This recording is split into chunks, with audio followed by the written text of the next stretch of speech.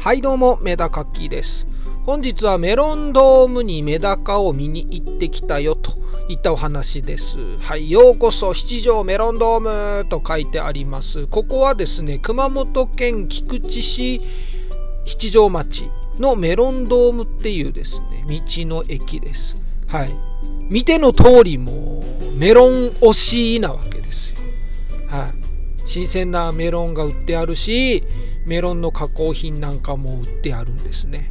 で、ここのメロンのアイスクリームが美味しいっていうことでですね、よく SNS 等で出てると思います。僕の友達の N 君もですね、熊本方面に行くといつもこのメロンドームに寄りたがるんすよ。はい。一緒に行ったらここに寄るんすよね。もう高速乗ってさっさと帰ろうよと思うんすけど、もう高速降りてここに寄るみたいな感じなんですね。そんな話をうちの妻が思い出したのか、はい。アイスクリームを食べたいと、行ってみたいと。行ったことなかったそうなんで、はい。まあ今、ちょうどね、メロンの時期でもありますので、はい。朝一からですね、このメロンドームの方にね、えー、家族で行ってまいりました。まあ僕はですねメロンより、はい、こっちがメインですよ。メダカさんを見に行くのがねメインで朝一だったんですけどもうね2個ほどはいメダカさん売れてました。ミックスがメインで置いてあってミックスのメダカがすごく大きかったですね。はい。メダカさんのねグッズなんかも置いてありました。こんな石とかですね産卵床なんかを置いてあって産卵床のネットはもう手に持ってやった方がいらっしゃったので買われてたのかなと思って。はい。いやいろんなところにねメダカ売ってあるんすけどメダカ売れるんだなと思いましたよ。まだまだね。まあでも僕はメダカより今回はですねこっちの方が気になってまして。はい。去年行った時もいたんすよ。そうです。ランチュウです。ランチュウの字が可愛いですね。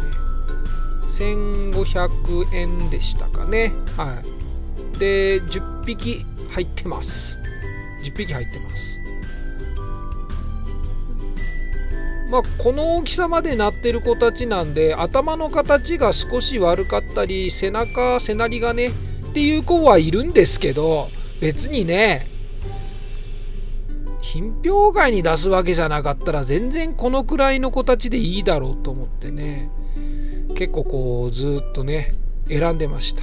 どれにしようかなと思ってね。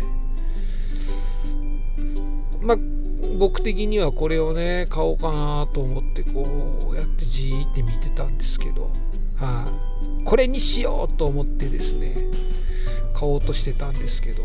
まあ妻はこれを見ても何も言わなかったんであ買っていいんだと思ったんですけどまあ息子からママから怒られるよと言われたんでね。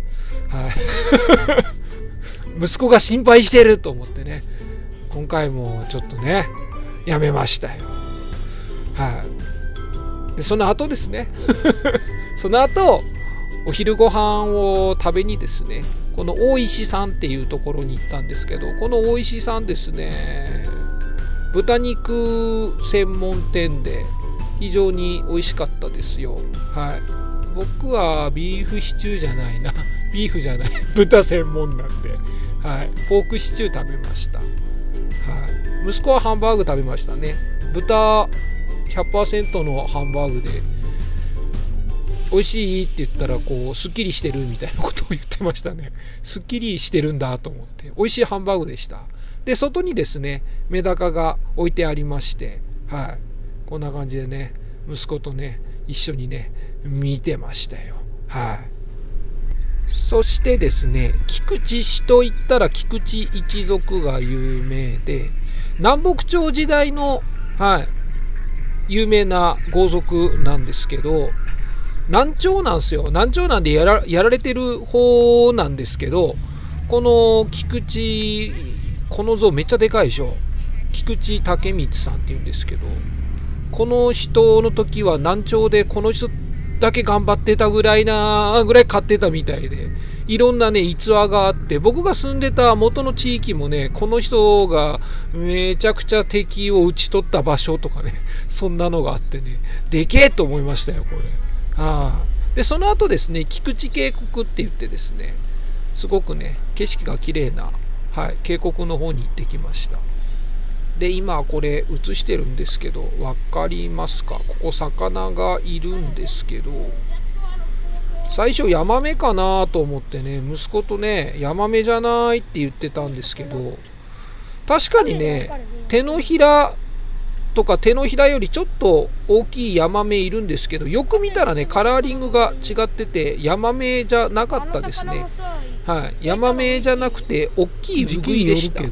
はい、よく見たらね婚姻色が出るか出ないかみたいな感じであウグイだと思って、はい、息子が隣で、ね、あのちっちゃいやつはヤマメやすけどこのウグイ釣りたいねみたいに言ってましたけどここからは禁漁になってたんでねこっちは釣ったらダメだと。反対側禁漁じゃないんで反対側釣ってはいいのかなとか思いましたけどこんなね観光客が多いとこでね釣りしませんよね。こっち側かな？これよりちょっとね下の方は釣っても大丈夫みたいですけどここから禁漁って書いてありましたからね。水きれいでしょ？すっごい水きれいなんすよ。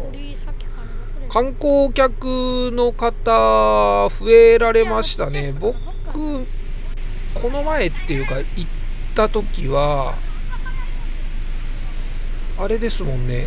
コロナ中に行ったのかな。はい、あ、これ今ね息子と赤原イモリを探してますね。赤原イモリを探してますカジカガエルもいましたよ。多分あのちっちゃいカエルはカジカガエルだと思うんですけど。息子みたいなね男の子がいてねその子がもうガシガシね赤原イモリをね探しまくっててね。息子もね赤原イモリをこう探したいってガシガシやったんですけど。持って帰ろうかなどうかなと思いましたけど。入れ物をね何一つ持ってきてなかったんで入れ物を持ってくるべきだったなと思いました、はい、袋はあったんですけどね。袋に赤原いもり入れて持って帰るのもなと思ってね。こうやってね やってるんですけど。車の中にね網あったんで網持ってくりゃよかったなと思いましたけど。まあまた来たらいいかなみたいな。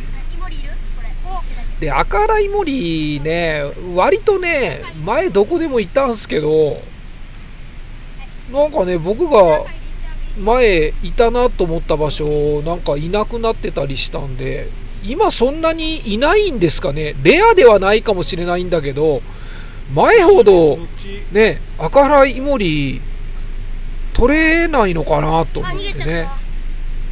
赤原イモリをねこんなにね真剣にね探したのはね久々でしたね 裏見てから息子もねどうしても撮りたいって言ってたんでね。はい、裏返してやっと見つけました。はい。捕まえましたよ。赤原イモリで赤原イモリの粘膜には毒あるんですよね。テトロードトキシンでしたっけ？フグと同じ毒なんで触らない方がいいよとか触ったら死ぬよぐらいのことを言われたことあるんですけど死にはしないですよね。すごいあれっすよ。